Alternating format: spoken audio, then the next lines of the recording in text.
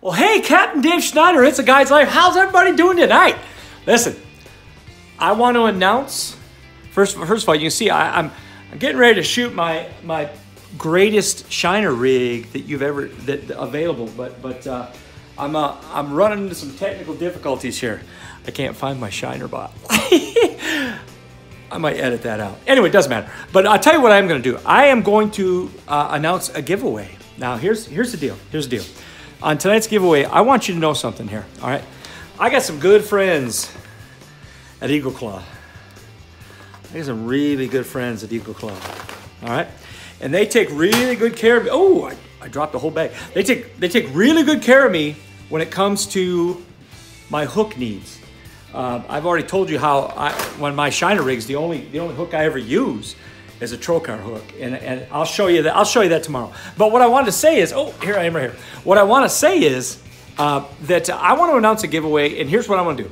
Let's say I want you to I want you to respond to this video. Say, welcome back, Captain Dave. All right, welcome back, Captain Dave. You put that in the uh, in the response thing, and uh, I'm going to send you 15 of each of these hooks, all right? And I'm gonna put them in a little package and I'm gonna send them to you. These are the best hooks that money can buy.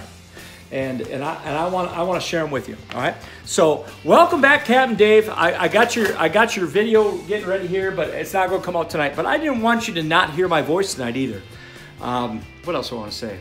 Let me see. I got a shout out. Let me, let me give a shout out here.